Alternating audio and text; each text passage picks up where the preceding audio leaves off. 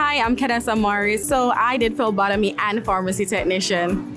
My teacher is Dr. Chamberlain and Dr. Susan Merck. I did both of them because I was really interested in lab work and then starting phlebotomy.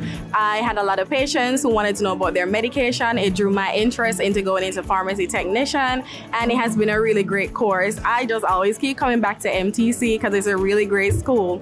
Um, my favorite thing about it is that the teachers are helpful. They're always there, the staff. It doesn't matter who is there. Everybody there is to help and they keep pushing you forward.